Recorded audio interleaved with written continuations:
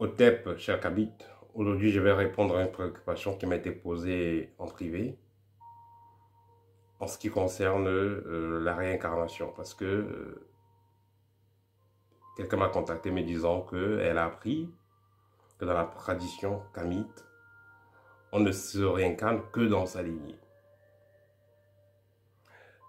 On ne se réincarne que dans sa race et que dans sa lignée. Alors, est-ce que c'est vrai, est-ce que c'est pas vrai? J'ai décidé donc de répondre à cette question de façon euh, visuelle pour aider la plupart, ceux qui me suivent, pour, aider ceux qui me suivent. Alors, vous savez, dans la tradition kamite, il n'y a pas de règle sans exception. Il n'y a pas de règle sans exception. Et il y a les lois, il y a les grandes lois, et ainsi de suite. Il y a les lois qui vont euh, passer au-dessus de certaines lois. En temps normal, on se réincarne dans sa lignée. On se réincarne dans son clan. Vous avez euh, eu deux enfants, vous avez une fille, vous avez eu un fils. Vous allez vous réincarner chez la fille. Vous allez vous réincarner via le fils. Si le fils va aller euh, doter sa femme, bien entendu. Mais cependant, il y a des cas où l'initié pourra se réincarner où il veut. Je répète, il y a des cas où l'initié pourra se réincarner où il veut. Et aussi, euh, la réincarnation, quand on va aller en profondeur dans les sciences kamites, on va voir que la réincarnation, c'est euh, une anomalie. C'est-à-dire que vous allez à l'école, vous, avez échoué et vous recommencez. Vous allez échouer et vous recommencez. Ça, c'est euh, dans la plupart des cas. Mais il y a des cas aussi où les initiés vont plutôt demander à venir des consciences. C'est-à-dire appeler, euh, faire des rituels préparatoires pour que personne particulière revienne mais il y a des cas où le grand initié, ayant quitté le monde physique, revient. Normalement, il y a une certaine durée pour que l'âme puisse se réincarner. Ça, c'est dans les normes. Mais celui qui est assez avancé ne va pas respecter ces normes. Il peut se réincarner quand il veut, où il veut. Donc, c'est-à-dire que euh, on va prendre le cas d'un initié qui est euh, issu d'une famille euh, africaine. Euh, vous avez suivi l'histoire du grand initié Omram.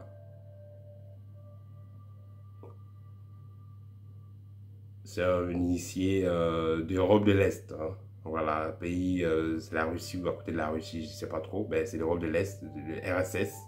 URSS, URSS, voilà, c'est zone URSS, URSS à l'époque.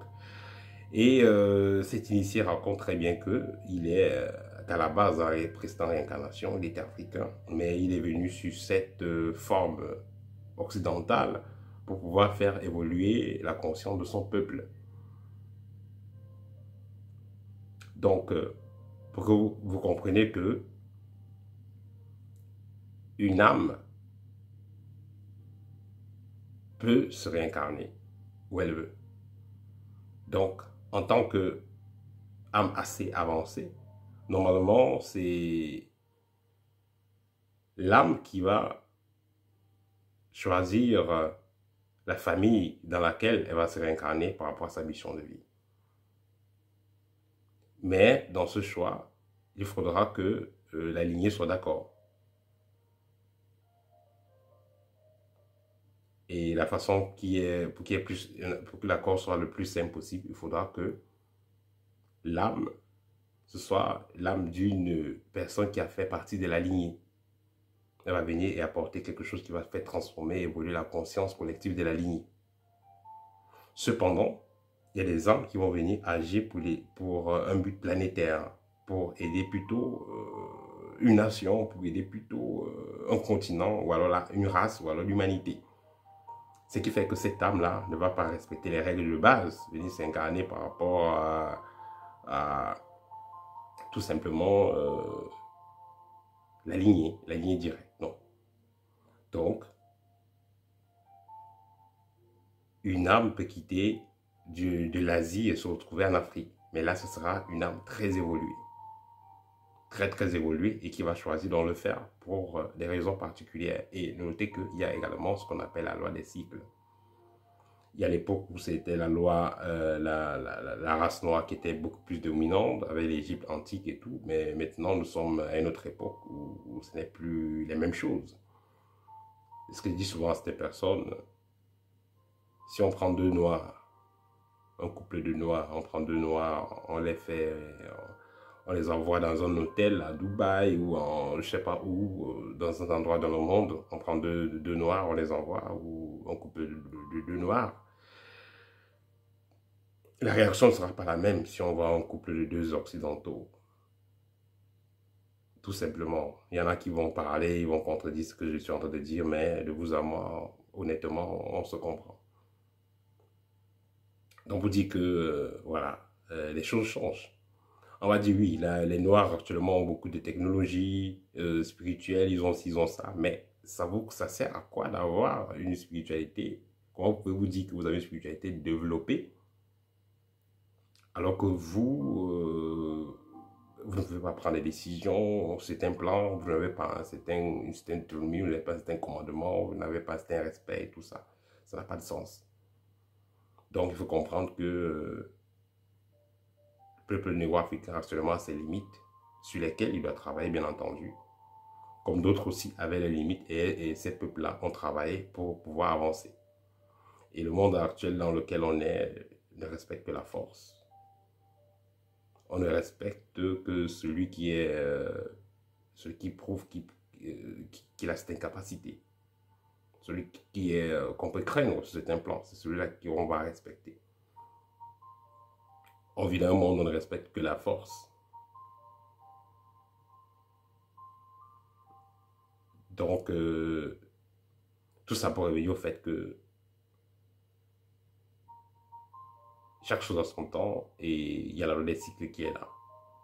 Il y a la saison des pluies, il y a la saison sèche, il y a la neige qui vient. Voilà, donc l'univers a toujours été fait comme ça. Donc, si des personnes pensent que le fait d'être euh, noir, ça signifie que vous avez forcément le dessus sur d'autres races, ce ne sera pas quelque chose d'assez correct. Parce que, comme je le dis toujours, l'âme n'a pas de couleur. L'âme, c'est l'âme, point. La différence, ce n'est qu'au niveau physique. Voilà, la différence avec au niveau physique. En tant qu'enseignant de spiritualité, j'ai eu à donner des cours à des blancs, à des asiatiques et tout. Et je n'ai pas vu une très grande différence, honnêtement parlant, parce que par rapport aux capacités, par rapport au ressenti, euh, par rapport à, l'évolution, voilà, j'ai vu que c'est presque pareil. Donc, je ne serais pas limité à cela que, voilà, le noir euh, ne peut jamais se réincarner chez le blanc, et ainsi de suite. Et si vous allez en profondeur dans le voyage, dans le voyage du temps et de l'espace, dans le temps et l'espace, vous allez constater que même certains d'entre vous qui me parlent, euh, qui euh, me suivent autant que moi, ils ont des liens dans leur généalogie. Il y a des gens qui ne sont pas noirs,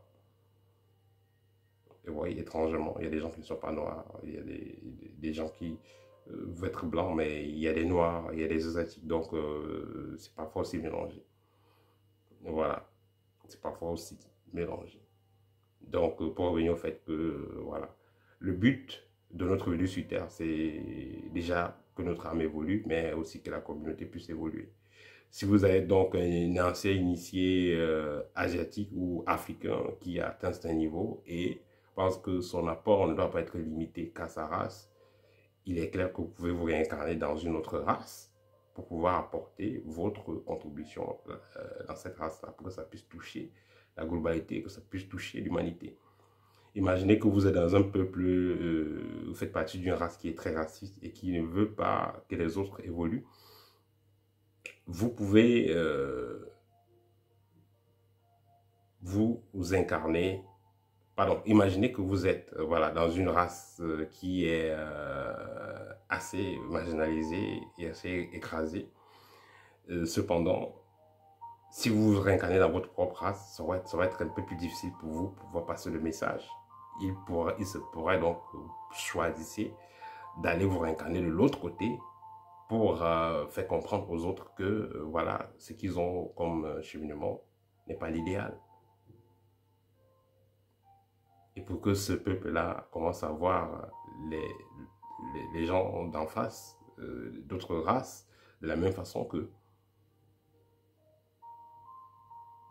Donc, pour conclure, une fois que une âme est assez évoluée, il n'y a plus de barrière. Elle peut s'incarner où elle veut. Elle peut faire ce qu'elle veut. Voilà. Ça, c'était euh, le partage pour aujourd'hui. Au TEP et à très bientôt.